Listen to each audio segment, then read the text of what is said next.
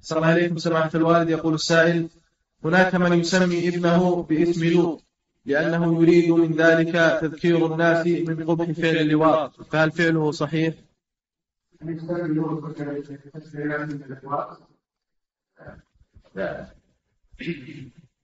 هذا رأي عجيب. سمي لوط على النبي أو يسميه على اللوطية.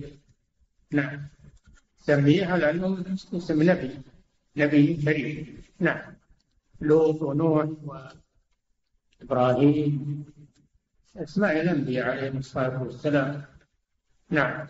صلى الله عليكم سماحة الوالد. يقول السائل هل من السنة عند رد السلام زيادة السلام عليكم ورحمة الله وبركاته ومغفرته؟